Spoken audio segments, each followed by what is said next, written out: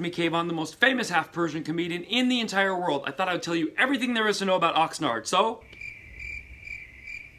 Okay, we'll think of some more things. Start the clock. Oxnard is made up of two words, ox and nards. It's a little something for the audience. One third of California's strawberries come from Oxnard. So if you've had a strawberry in California, you've had Oxnards in your mouth. Nards.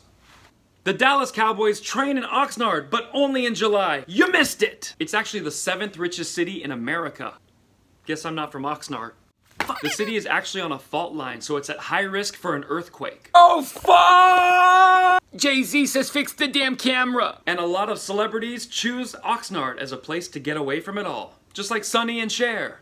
Beep, beep, beep, beep. I got you, babe. And the final fun fact about Oxnard, I'm coming there October 9th. So get your tickets, come laugh, leave your ox, bring your nards. Be there. It's a callback. Maybe I am from Oxnard. All about the Benjamins, baby. Put your damn hands up.